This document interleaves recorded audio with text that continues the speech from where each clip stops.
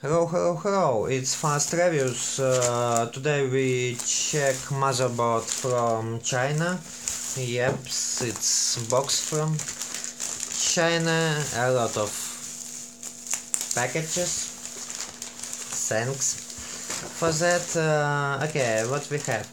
Uh, we have motherboard and uh, for back part. Okay. It's good, thank you. Uh, so what do we have? It's a motherboard for AMD uh, socket uh, FM1. Uh, it's Gigabyte GAA55 uh, S3P. Um, we have uh, PCI Express, uh, second uh, dual BIOS, for PCI 1, 2 PCI 16 uh, 60 16 as I remember. Two DDR3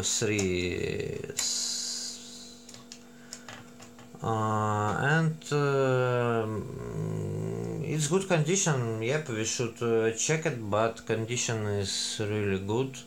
Um, some China dust.